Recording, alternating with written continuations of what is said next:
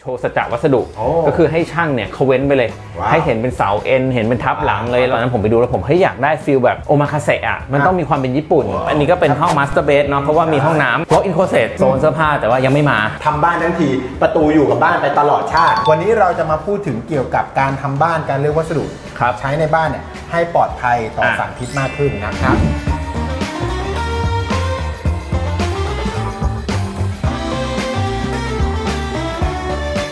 สวัสดีครับสวัสดีครับสวัสดีครัครับบผมสวัสดีครับสวัสดีครับ วันนี้นะครับเราเล่าถึงเกี่ยวกับงานรีโนเวทบ้านแล้วเราเกริ่นหัวไว้เรื่องของความปลอดภัย การรักสุขภาพการอะใส่ใจสุขภาพมากขึ้นนะครับเพราะเดี๋ยวนี้สารพิษสารเคมีปะอยู่ปนอยู่กับเรารอบลดตัว คนเมืองเนี่ยรู้ครับกันเป็นอย่างดีอยู่แล้วนะครับว่าอะพอ สารพิษมันเยอะนะครับ การกลับมาในเซฟโซนอย่างบ้านของเราเนี่ย เราก็ต้องออกแบบดีไซน์เลือกวัสดุบ้านให้มันอยากปลดภัให้มันด้วยเป็นที่ที่แบบว่าสบายใจที่สุดอะวันนี้เราจะมาพูดถึงเกี่ยวกับการทำบ้านการเลือกวัสดุครับใช้ในบ้านเนี่ย ให้ปลอดภัยต่ออะสารพิษมากขึ้นนะครับ ผมบอกโจทย์คุณก่อนแล้วกันยังไงคือบ้านหลังเนี้ยความยากคือพอเรา renovate อะเราต้องการ save งบเนาะไปหาเจ้ามาให้ผมเลยอะได้ที่เขาจะมาช่วยแบบว่าอันไหนไม่มีวงกบใส่ให้ได้ได้ อันไหนมีวงกบอยู่แล้วขอแค่ประตู ซึ่งผมจะบอกว่าวันนี้เราครับจะมาทำบ้านที่ชื่อว่าโอมากาเซกานะเซาครับอ่าแล้วจะอ่าเป็นสไตล์โม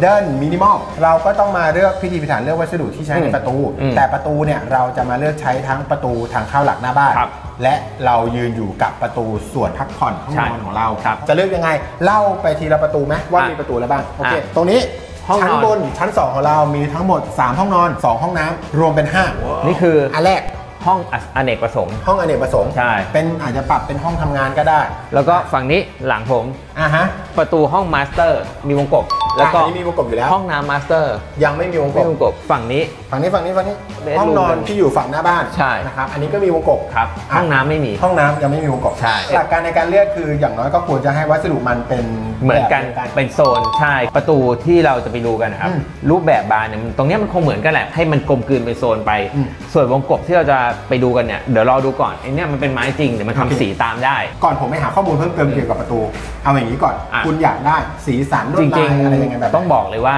ด้วยบ้านเนี่ยโอมากาเสาเนี่ยจริงๆมันเป็นชื่อแบบมีความเป็นญี่ปุ่นโอเคเออแล้วเราก็บ้านออกเป็นแบบวัสดุธรรมชาติแบบเซนๆโอมีเคปูนปูนๆสีเทาปูนได้ปูนได้แล้วมีไม้ไม้อะไม้ได้อ่าอะไรประมาณเนี้ยเดี๋ยววันนี้เราจะไปสั่งประตูกันครับอะแล้วถ้าประตูมาแล้วเราลงไปถ่ายเลยไหมเฮ้ยมาแล้วเหรอเฮ้ยไปไปเว้ยไปเลย ไปไปดูกันไปดูกัน บ้านสุดท้าย ใช่ครับบานครับสุดท้ายเป็นประตูทางเข้าหลักของหน้าบ้าน ก็สามารถสั่งได้เหมือนคืกัอนบางคนเห็นอยู่ว่าเฮ้ยทำไมปล่อยปูนอย่างนี้เลยวะโอมากาเสะไง โอมาคาเซก็คืออยากได้แบบว่าดูอะไรที่มันดิบๆตัดอย่างนี้เลยอะตัดไปเลย ตัดไปเลย ตัดอารมณ์ไปเลย ให้ไอเดียอย่างนี้ดีกว่าอืมทำบ้านหนึ่งหลังรีโนเวทบ้านหรืออะไรก็ตาม ถ้าวงกบขอบของประตูพื้นที่เสร็จเรียบร้อยแล้ว เริ่มสั่งประตูได้เลย อะแต่ในระหว่างนั้นคุณปรึกษาทางแบรนด์ได้ เช่นวันเนี้ยผมใช้ของเอกวัฒนาค้าไม้ครับนะครับ ครับจริงๆ ในวงการวัสดุก่อสร้างนี่รู้จักกันเป็นอย่างดีแล้วนะอืม นะครับ เพราะว่าอันนี้เขามีหลากหลายวัสดุมาก และ ขึ้นชื่อเลยว่าเรื่องของไม้เรื่องของประตูเนี่ยเขาสามารถสั่งทำได้อย่างหลากหลาย อ่ามีมีครบเลยไม่ว่าจะเป็นวงกบนะครับหรือว่าตัวประตูจะเอาไม้จริงก็ได้แลปลามิเนตก็ได้นะครับคือปกติสมมุติเราอยากได้บานเป็นแบบปูนเปลือย ครับก็มี มีนี่ไงอืมก็คือเป็นบานที่เป็นโครงไม้อัด แล้วก็อะปิดด้วยลามิเนตลายแต่ปูนขัด แต่ไอการใช้คำว่า laminate แบบเนี้ยปรึกษาเอกวัฒนาค้าไม้ได้เลยนะครับเขามี laminate ให้เลือกให้เลือกหลากหลายใช่ เป็นลายตา นอกจากกา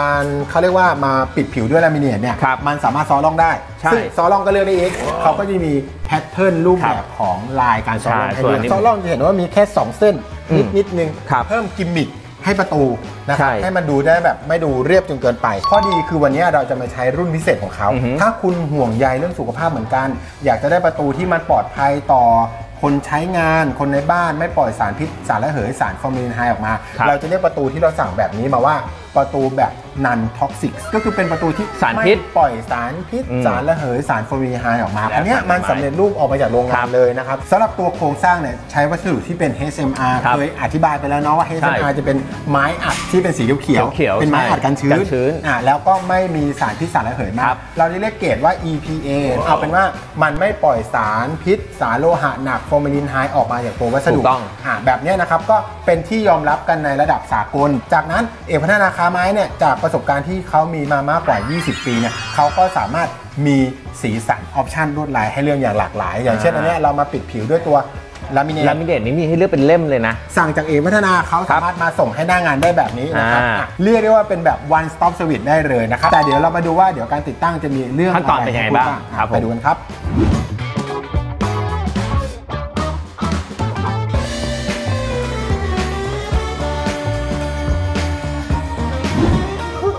เฮ้ยเสร็จโอ้โหเสร็จทักทีนะครับเออหวังว่าจะทันปลายปีนี้นะครับ งานอาจจะต้องเร่งกันนิดนึงก็ครับอยากจะรีบปิดบ้านใช่รีบจบใช่งานรีบเบิกเงิน เอาเป็นว่าวันนี้นะครับ เราก็พามาดูคอนเทนต์เกี่ยวกับ การใช้งานประตูให้กับบ้าใช่นใช่ ซึ่งเราใช้ของเอกวัฒนาค้าไม้อ่าทั้งหลังเลย อันเนี้ยวันก่อนที่ผมมาดูช่างติดประตูเขาบอกให้ยมันติดง่าย ใช่ เพราะว่าเขาอัดบานมาค่อนข้างที่จะตรงแต่เนี่ยเขาติดน่าจะ 2 วันมั้งใช่เออไม่ต้องปักบานเลยก็ติดเป็นที่เรียบร้อย แล้วก็อยากที่จะบอกไว้ตั้งแต่แรกเลยว่าตัวเนี้ยเรา inspire ซับวงกบ หรือว่าเขาเรียกว่าเสาเอ็นเนี่ยมาจากลายของประตูเลย คือพวกเนี้ยเป็นบานไม้อัดที่เขาทำขึ้นมาตอนนั้นผมไปดูแล้วผมเฮ้ยอยากได้ feel แบบโอมาคาเซะอะมันต้องมีความเป็นญี่ปุ่น ก็คือมันจะมีความเป็นลายปูนเปลือยโอเคอ่าอันนี้ไม่ใช่แตกนะ อันนี้คือลายนะฮะอ่าเป็นลายของลามิเนตลามิเนตแล้วก็มีการ groove ร่องอะไรเงี้ยครับแล้วก็อยากให้มันมีความ inspire ออกมาก็คือโชว์สัจจะวัสดุโอ้ก็คือให้ช่างเนี่ยเขาเว้นไปเลยว้าว ให้เห็นเป็นเสาเอ็นเห็นเป็นทับหลังเลย แล้วก็เอาวงกบที่เป็นเอ่อสีไม้มาต่อนี่มันก็จะได้ฟิลแบบญี่ปุ่น เดี๋ยวเรามาดูอย่างที่เราบอกไปนะครับครับว่าของเอกพัฒนาเนี่ยเขาไม่ได้มีดีแค่ประตูเนาะครับนะครับเราสามารถใช้พวกวงกลมวงอ่ากบอะไรของเขาควบคู่กันไปได้ เพราะว่าใช่จุดกำเนิดของเอกพัฒนาจริง ๆ ก็จะเป็นเรื่องของไม้ไม้ แล้วเรามาดูเฉียงๆกันตรงนี้ตรงนี้มามามามา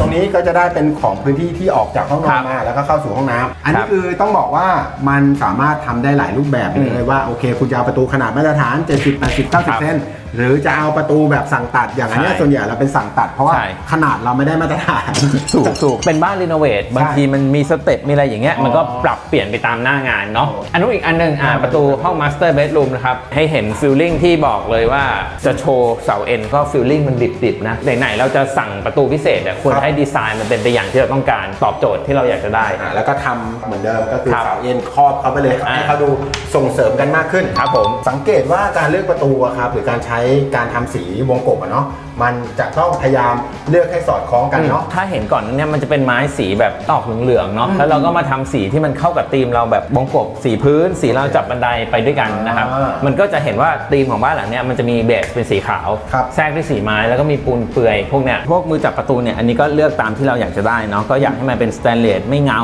นะครับเป็นด้านเรียบๆนะครับมีประตูหนึ่งเดี๋ยวพูดเผื่อไปเลยเพราะว่าข้างล่างช่างไฟยังทำงานอยู่อ่าฮะประตูบริเวณทางเข้าบ้านหน้าบ้านอืมทางเข้าบ้านหลักเนี่ยก็ใช้ได้เหมือนกัน แล้วก็ใช้เป็นลายนี้ได้เลยใช่นะครับขนาดก็ควรจะต้องใหญ่ขึ้นมาหน่อยเป็น 90 เซนถูกอันนั้นก็จะเป็นโครงไม้เหมือนกันแล้วก็ปิดลามิเนตเนาะคุณก็สามารถเลือกประตูให้มันคุมโทนทั้งบ้านได้เลยนะคครัรับบผมของเอกวัฒนาเขาก็มีมาครับเดี๋ยวเข้ามาดูห้องนี้กันครับ space ข้างในนะครับอันนี้ก็เป็นห้อง master bed เนาะเพราะว่ามีห้องน้ำ walk in closet โซนเสื้อผ้าแต่ว่ายังไม่มาห้องนี้จะอันนี้จะเป็นใหญ่มากอ่าที่นอนแล้วก็โต๊ะทำงานอยู่ฝั่งนี้ครับวันนี้ก็พามาดูความสวยงามของประตูอย่างเต็มอิ่มแต่ถ้าคุณผู้ชมมีข้อสงสัยเพิ่มเติมจริงๆ ของแบรนด์เอ็ดวัฒนาเนี่ครัยบต้องบอกว่ามีลามิเนตโอ้โห ให้เลือก ให้เลือกเพียบเลย ให้เลือกแบบว่าเต็มข้อนะครับอืมก็คุณผู้ชมอยากได้ลายไม้ สีอ่อน สีเข้มอืมลายไม้หนัก แน่นแค่ไหนสีดำก็มีครับนะครับอ่าแล้วอย่างวันนี้เราก็ใช้เป็นลักษณะของสีที่เป็นปูนนะครับใช่ปูนเปลือยใช่ให้ดูนะครับ ก็ปรึกษาเอกพัฒนาได้เลย แต่จุดประสงค์สำคัญของเราในวันนี้ เราพูดไว้ตั้งแต่ตอนต้นแล้วก็คือว่าในเรื่องเกี่ยวกับสุขภาพนะครับทำยังไงให้ประตูเป็นเซฟโซนให้กับเพื่อนๆครับผมเพราะว่าเซฟโซนเนี่ยบางทีเพื่อนๆไม่รู้ว่า